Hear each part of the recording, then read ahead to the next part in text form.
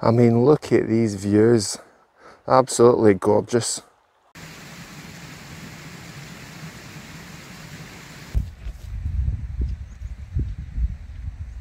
Here we have this little water source and I've managed to fill up my bottle. I think it's the last water source um, before the climb. I don't think we're going to get one up there by the looks of it. Maybe over there on the ridge. It's been an interesting little walk so far. Stopped a few times, talked to a number of gentlemen, ladies and gentlemen. A big shout out to Kenny and Alan, I think it was.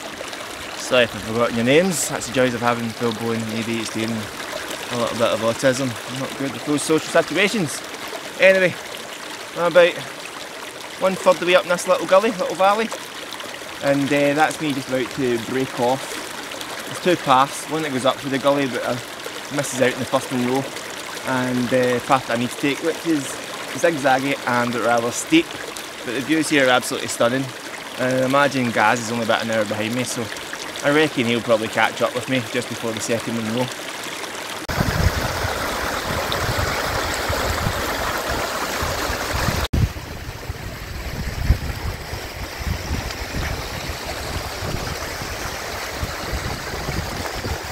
That's the first summit out the way. Not a bad trek, nice flat walk. You get to some bog, but it's easily avoidable. Uh, tough going, get steep, and then about 200 metres before the summit, it's a bit of an ankle breaker. Uh, it's quarter past four, so it took me three hours to get here. Uh, I want to get set up no later than half six, well, really no later than half seven. I want to capitalise on the daylight. Um, it's about four kilometres to the next Munro. Uh, the plus side, it's shorter than the walk I've done so far. I've done about what six kilometres, and a fair chunk of it's downhill. So downhill's quicker. As you can see, uh, it's clearly uh, not clear. Um, is that Irony or is that Alan?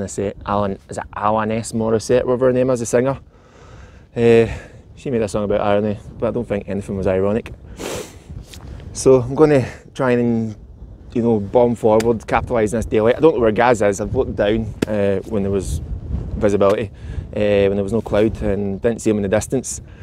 So, going to bomb forward, and I'm not looking forward to the ridge.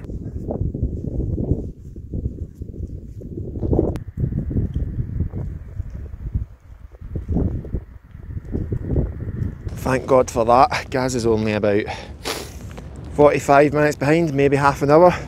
Took me about three hours to get to the summit. He appears to have done it in under two hours. Guys, check the views out from up here. Absolutely gorgeous. Look at that. Look at that. And as you can see, it's raining. The rain clouds are coming up, or coming coming down, or coming in. Uh, done a video along that path, takes you to Loch Dochart, but we'll be pitching somewhere over in that direction.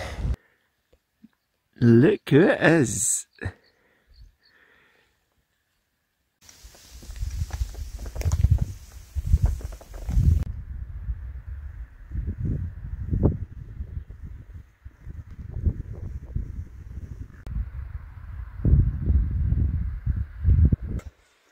I'm dreading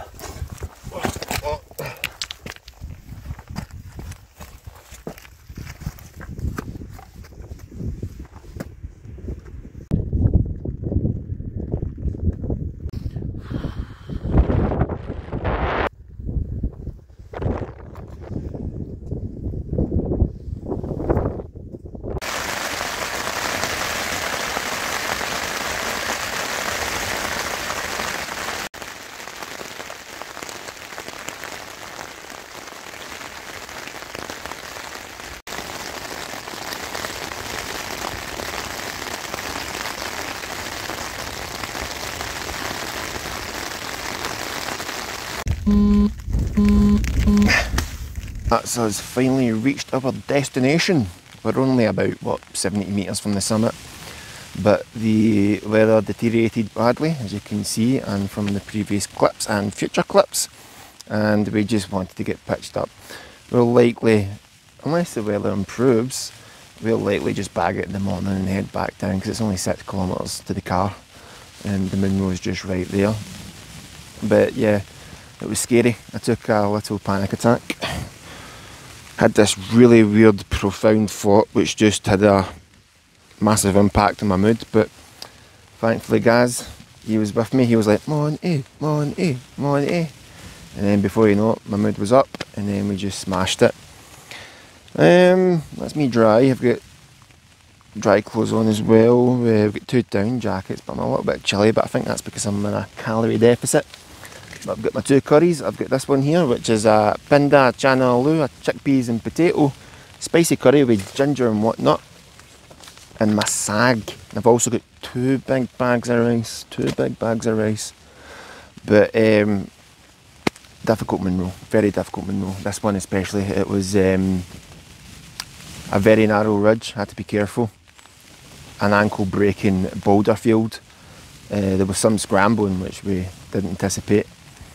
Uh, the terrain before was just perfect. It's my ideal terrain, but once you're up here, well, just before, um, it's absolutely terrifying. I uh, don't think I'll be revisiting. Maybe coming up, the, it's a circular route. The going down is not too bad, and I believe just beyond the summit there is actually some flat, high ground. So maybe return if I take that route instead of the initial route that Walk Highlands recommends. But what I'm going to do now is I'm I'm going to show you my setup. Do apologise, can't get the greatest of footage because of the wild weather out there I'm trying to stay warm and dry. But I'll give you a rundown of my setup and hopefully I can get Gaz to do a rundown of his setup using his GoPro.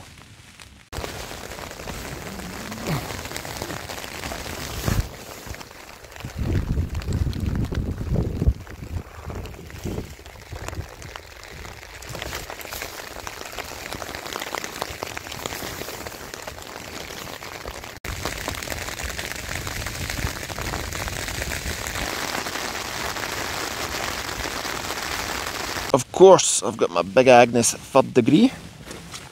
And over here, we've got my inner liner as an extra Celsius or two to the sleeping bag and prolongs its lifespan. I've got with me the Black Ice, the Black Ice G700, rated between minus 4 and minus 10, or is it minus 5 and minus 10? Got my cushy little flannel pillow, that's never once let me down. And here we've got the Light Tour sleeping mat quite similar to a honeycomb design. It's got an R value of 5.4 or something. What I'll do is I'll bring up the specs and I'll show it on the screen.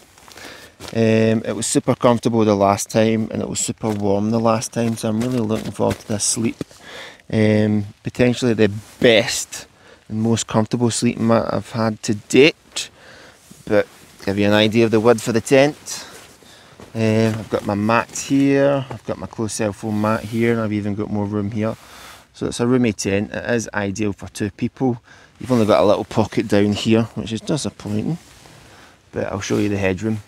And the headroom, this is actually me sitting down at the bottom of the tent, and you know, with my hat on, you know, I've got a bit of uh, headroom. And um, as you can imagine, if I was sitting in the centre, I'd have plenty of headroom. I wouldn't even be touching the top. Oh, we've also got a little lantern hanging point. We've got two vestibules. We've got two vestibules uh, symmetrical on either end. I'll show you this one. Um, there's the zips. You can't go wrong with a zip. How else would you get into your tent? I've not pitched the tent properly as well. I'm on a slope, so it's going to be a pain in the backside uh, getting comfortable. Uh, the bags, as you can see, digging into the what do you call it, vestibule area. But when it's nice and taut, there's plenty of room. It's like the Cloud Peak you know the Cloud Peak, you'll know how spacious that is. This is, um, I would, uh, from what I've seen from the specs online, I'm pretty sure it's both slightly longer and wider. Um, I'll need to check what the headroom's like. I think it's very similar, very similar. But um, Gaz is over there. It's about 8 pm. Um, I'm a little chilly, and if anything, I'm absolutely starving, so I'm going to have something to eat.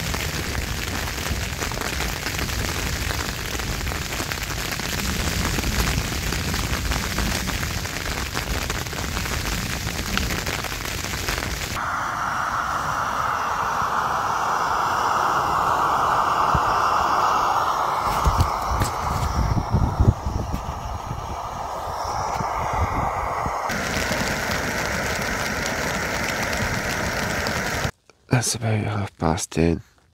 Still raining lightly. And we've got a little oh, got hiccups, got a little bit of wind as well. Just watched a bit of the Forever Pudge there. Forever Purge. It's an okay wee movie, but I would really recommend it. Good good grief these hiccups. Um hoping to get up about half past six tomorrow. Be packed up for about quarter past seven. Going back, that's it. Oh my god, where these hiccups came from. Going back that second Munro.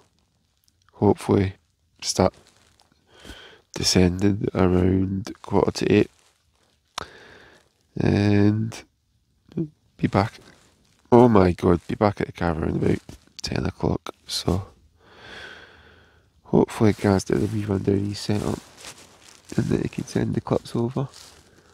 Um, stuck in the tent again, so I can't really do much. I was too busy focused on staying dry and warm. So I hope you've enjoyed the content so far, and I'll catch you all in the morning. Well, good morning, you all. Had a good sleep last night. Went to bed about quarter to eleven and woke up about quarter to six. No, quarter to seven. Um, the Light Tour sleep mat, super comfortable, super warm. The Black Ice G700, super comfortable, super warm. And uh, given I was on uneven ground, I managed to flatten out to the best of my ability. So that's me and Gaz getting packed up. Again, it's about quarter past seven. So I'm going to get that mountain bagged and we'll see how Gaz got on as well.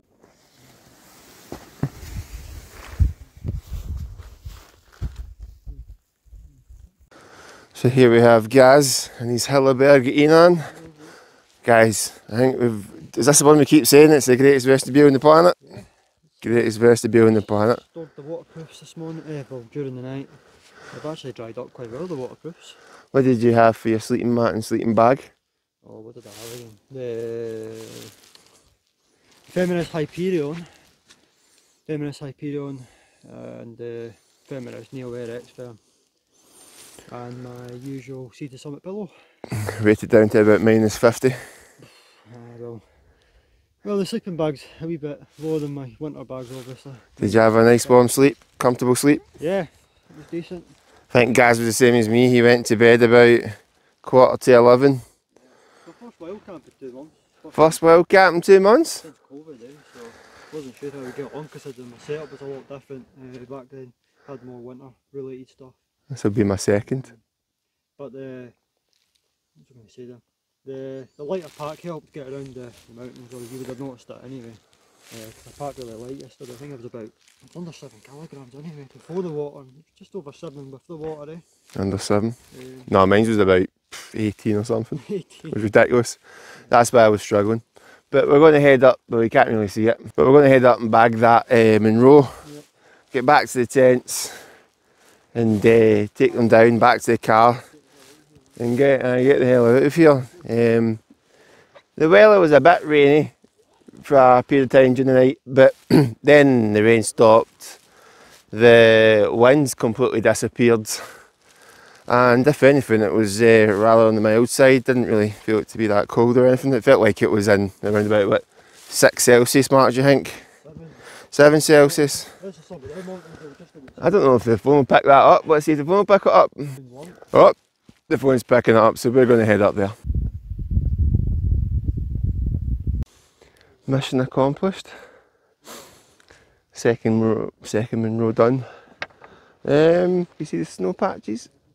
Still some snow patches, which is surprising given it was a mild winter. But really disappointed in my performance. I did it in the Walk Highlands time, but I was supposed to do some physio for the past year and I've lazily not bored my backside. So hopefully now that I'm eating healthy, I don't longer, I no longer touch ultra processed foods, but you're looking at. So hopefully that'll make a massive difference. But what we're going to do now, head back to campsite, put the tents by, and then get back, just get after this bad boy. So me and Gaz would like to say goodbye. There we go.